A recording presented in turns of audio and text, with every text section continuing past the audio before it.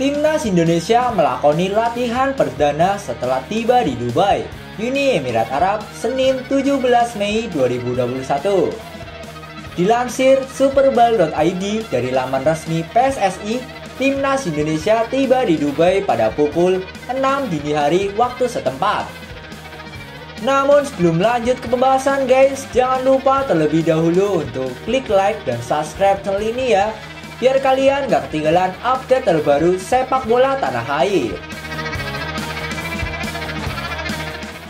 Ya guys, setelah tiba di Dubai, mereka menuju Hotel JA Resort atau Hotel Dubai untuk beristirahat.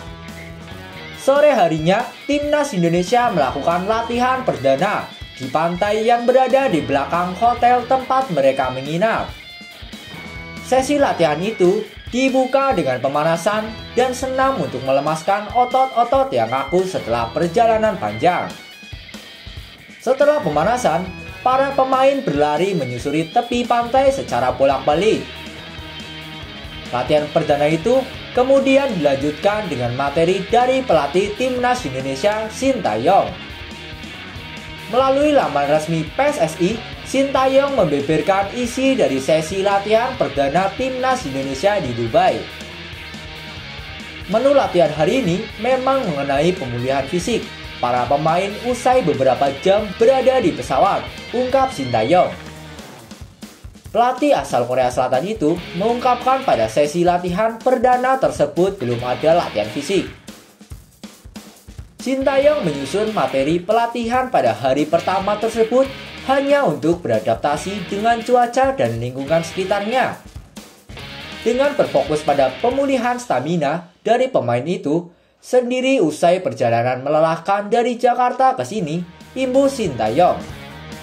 Akan tetapi, materi yang disusun oleh Sintayong tersebut mendapat sorotan dari media Vietnam. Media asal Vietnam, The Tao, menyebut bahwa lokasi latihan timnas Indonesia tersebut tidak wajar. Detau menambahkan menilai bahwa keputusan Sintayong mengadakan sesi latihan di pantai bisa menimbulkan dua masalah.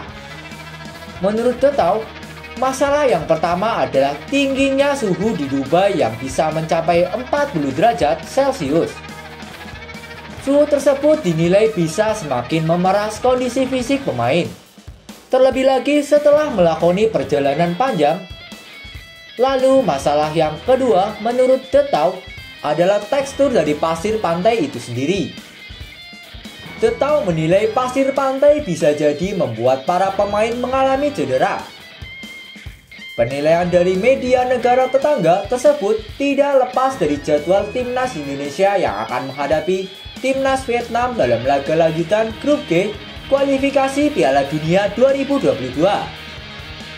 Laga antara kedua negara Asia Tenggara tersebut akan tersaji pada 7 Juni mendatang.